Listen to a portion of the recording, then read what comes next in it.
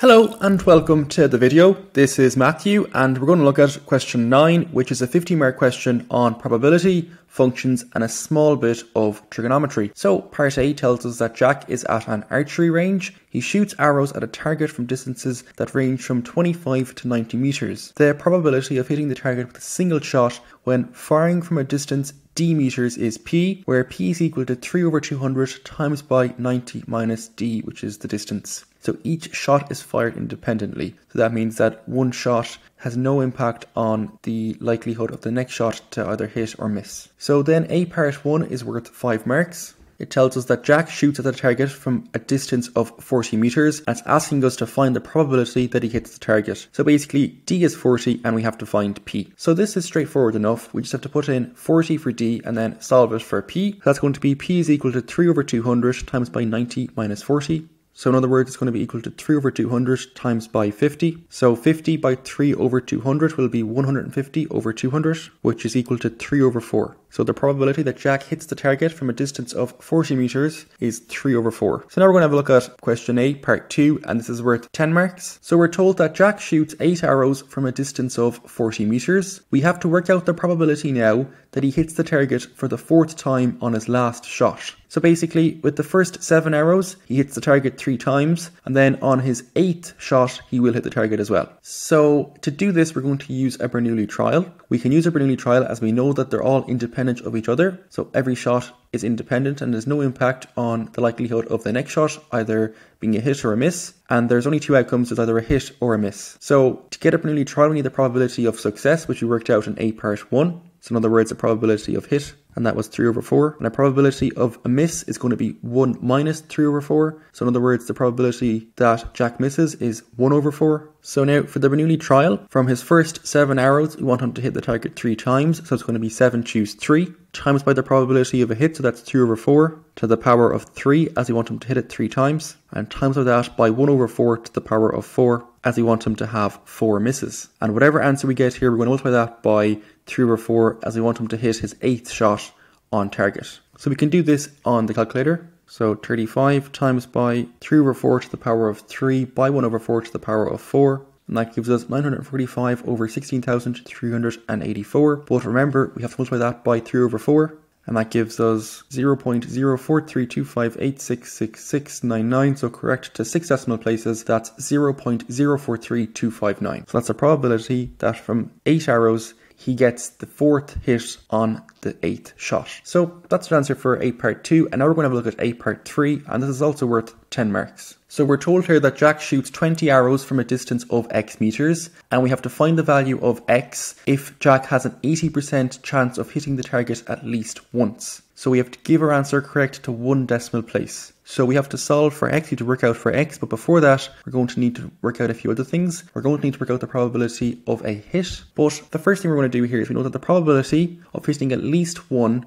is going to be 1 minus the probability of hitting none. So we know that the probability of hitting at least one is going to be 80% or 0.8. So from that, we can work out that the probability of 20 misses is going to be 0.2. So if we know that the probability of 20 misses is 0.2, we can use a Bernoulli trial to work out the probability of one singular miss, and from that work out the probability of a hit. So we're going to do a Bernoulli trial now where there's 20 misses, and from that we'll be able to work out the probability of one singular miss, as we know that the Bernoulli trial should be equal to 0.2. So from 20 shots, there's no hits, so it's 20 choose 0, and the probability of a hit to the power of zero. We don't know what the probability of a hit is, so we're going to leave it as probability of hit to the power of zero times by the probability of a miss to the power of 20. Now be careful, it's the probability of one singular miss to the power of 20, not the probability of 20 misses, which is what we got just there. Now we know that when we evaluate that, that should be equal to 0.2, and we can now work it out. So 20 choose 0 is going to be 1,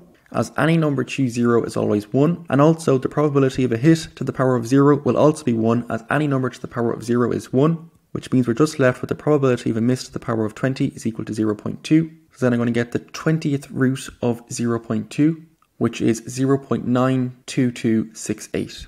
And now from that, I can work out the probability of a hit from x meters. So it's going to be 1 minus the probability of a miss. So therefore, the probability of a hit is 0.07732. So now we can say that p should be equal to 0.07732. And we're going to leave d as the variable and then we'll solve for d in the formula and that will give us x.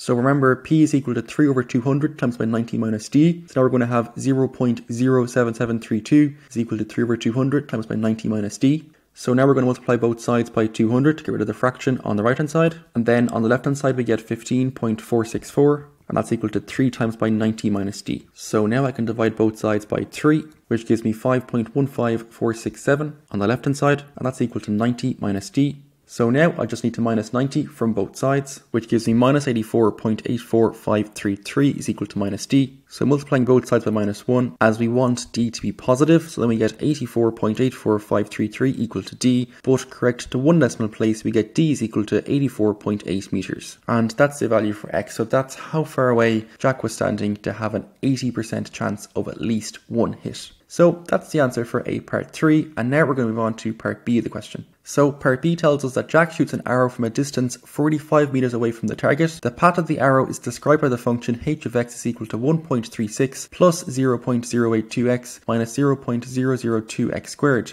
So h is the height of the arrow and then x is the horizontal distance it travelled. So we're shown the graph of the function. A is the point where the arrow was launched and B is the target. So then B part 1 is worth 5 marks. And this wants us to find the height from which the arrow was launched. So the height at which the arrow was launched will be where x is equal to 0. So we're trying to find h is 0 and h of 0 will be equal to 1.36 plus 0.082 times by 0 minus 0.002 times by 0 squared. So that's going to mean that h of 0 is equal to 1.36 plus 0 minus 0. So h of 0 will just be equal to 1.36 meters. So the arrow was launched from 1.36 meters. So now we're going to have a look at B part 2 and this is worth 10 marks. So it says, using calculus methods, find the greatest height reached by the arrow. So to find the maximum or minimum value of a function, you differentiate it and put it equal to zero. So in other words, we have to differentiate h of x and then put our answer equal to zero. So h of x again is equal to 1.36 plus 0.082x minus 0.002x squared. And differentiating that, we get h prime of x is equal to 0.082 minus 0.004x.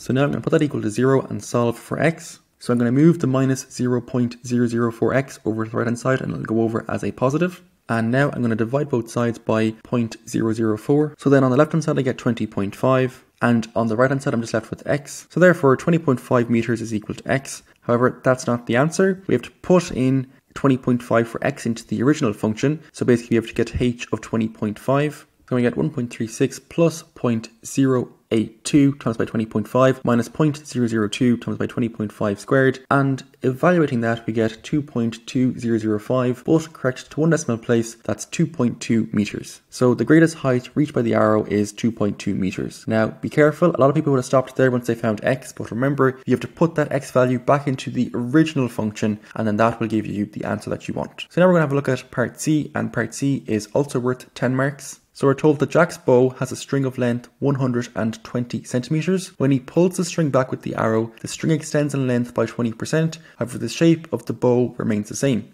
So the question now is that given that the arrow is centered on the wire, find the measure of the obtuse angle formed by the two halves of the string, give your answer to two decimal places. So in other words, it's looking for this angle here. So in order to work out that, I'm going to use trigonometry. So I'm going to have to create two right angled triangles. And to do that, I'm going to draw a vertical line down from where the string connects to the bow. And I'm going to work out what half the angle is. And then whatever half the angle is, I'm going to double that to work out the full angle A. So I'm now working out this smaller angle, which I'm going to label as theta, and whatever I work out theta to be, I'm going to double my answer. So the length of the string was 120 centimeters, but it increased by 20%. So to work out the new length, I'm going to multiply 120 by 120% or 1.2, and this is equal to 144 centimeters. So that means that the new length of the string, when he's pulling it, is 144 centimeters. So to find the length that we want, we're going to half that, which is obviously going to be 72 centimeters. So that's this distance here. So now I've drawn in a new vertical yellow line which exactly matches the string that would have been there before he pulled it. And we know that that was 120 centimeters. So to find out what half that is, obviously we just half it, which is 60 centimeters. And now we have a right angled triangle and we can use our trigonometric ratios to work out the angle theta.